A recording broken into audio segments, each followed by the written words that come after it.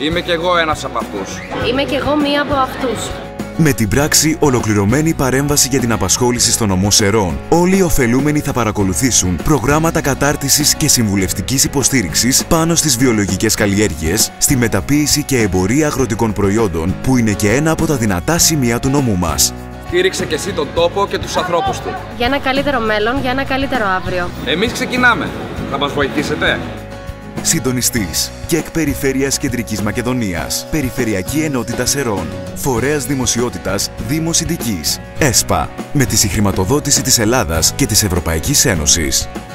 Ενημέρωση ΚΕΚ Περιφέρειας Κεντρικής Μακεδονίας. 200 επιχειρήσεις από όλο τον νομό για την πεντάμινη πρακτική σας άσκηση με χρήση βάουτσερ. Κάνε αίτηση στο ΚΕΚ της Περιφέρειας. Υψηλά του 4 Ξεκίνησε την επαγγελματική σου σταδιοδρομία μαζί μας.